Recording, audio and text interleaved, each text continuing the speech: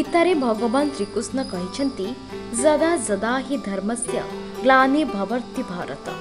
ଅଭ୍ୟୁତ୍ଥାନମ୍ ଅଧର୍ମସ୍ୟ ତଦାତ୍ପନ୍ନମ୍ ସୃଜମ୍ୟମହମ୍ ପରିତ୍ରାଣୟ ସାଧୁନା ବିନାଶାୟ ଚଦୁଷ୍କୃତମ୍ ଧର୍ମ ସଂସ୍ଥାପନାର୍ଥାୟ ସମ୍ଭବାମି ଯୁଗେ ଯୁଗେ ଉପରୋକ୍ତ ଶ୍ଲୋକ ଅନୁଯାୟୀ ଗୀତାରେ ଭଗବାନ ଶ୍ରୀକୃଷ୍ଣ କହିଛନ୍ତି ଯେ ଯେତେବେଳେ ଏ ଧରାଭକ୍ଷରେ ପାପୀଙ୍କର ଦୌରାତମ୍ୟ ବଢ଼େ ଏବଂ ଅଧର୍ମ ରାଜୁତି କରେ ସେତେବେଳେ ଭଗବାନ ବିଷ୍ଣୁ ବିଭିନ୍ନ ଅବତାର ନେଇ ଏ ଧରାରେ ଅବତୀର୍ଣ୍ଣ ହୁଅନ୍ତି ଏବଂ ଦୁଷ୍ଟମାନଙ୍କୁ ସଂହାର କରି ସାଧୁସନ୍ତମାନଙ୍କୁ ସୁରକ୍ଷା ଦିଅନ୍ତି ତଥା ଧର୍ମ ସଂସ୍ଥାପନ କରନ୍ତି ସେହି ଦୃଷ୍ଟିରୁ ଭଗବାନ ବିଷ୍ଣୁ ଶ୍ରୀକୃଷ୍ଣ ରୂପରେ ଦ୍ୱାପର ଯୁଗରେ ଜନ୍ମଗ୍ରହଣ କରିଥିଲେ।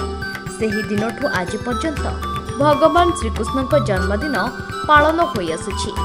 କିମ୍ବଦନ୍ତୀ ଅନୁସାରେ ଭାଦ୍ରବ କୃଷ୍ଣପକ୍ଷ ଅଷ୍ଟମୀ ତିଥିରେ ପ୍ରଭୁ ଶ୍ରୀକୃଷ୍ଣ ଦେବକୀ ଓ ବାସୁଦେବଙ୍କ ପୁତ୍ର ଭାବେ ମଥୁରାରେ ଜନ୍ମଗ୍ରହଣ କରିଥିଲେ।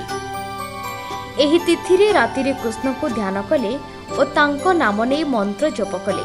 ସାନସାରିକ ମୋହମୟ ଜନିତ ଆସକ୍ତି ଦୂର ହୁଏ ବୋଲି ବିଶ୍ୱାସ ରହିଛି। ଜନ୍ମାଷ୍ଟମୀ ପାଇଁ ଉତ୍ସବ ମୁଖର ହୋଇପଡ଼ିଛି ମଠଠୁ ମନ୍ଦିର ସହରଠୁ ଗାଁ।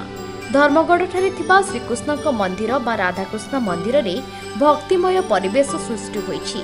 ଉତ୍ସବ ମୁଖର ହୋଇଛି। ଅଞ୍ଚଳରେ ଥିବା ଜଗନ୍ନାଥ ମନ୍ଦିର ସହିତ ରାଧାକୃଷ୍ଣଙ୍କ ମନ୍ଦିର।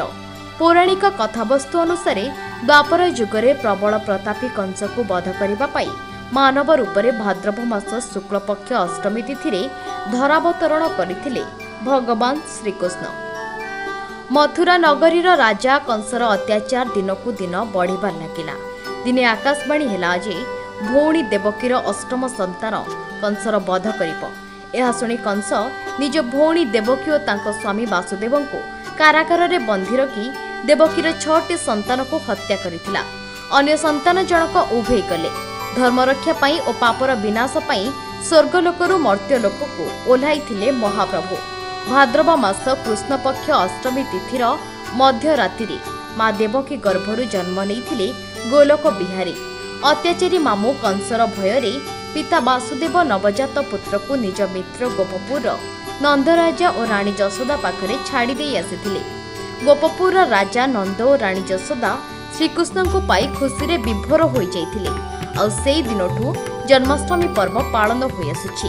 କଳାହାଣ୍ଡି ଜିଲ୍ଲାରୁ ଆମ ଜିଲ୍ଲା ପ୍ରତିନିଧି ପ୍ୟାରିଲାଲ ଦୁର୍ଗାଙ୍କ ରିପୋର୍ଟ ସକାଳ ଖବର।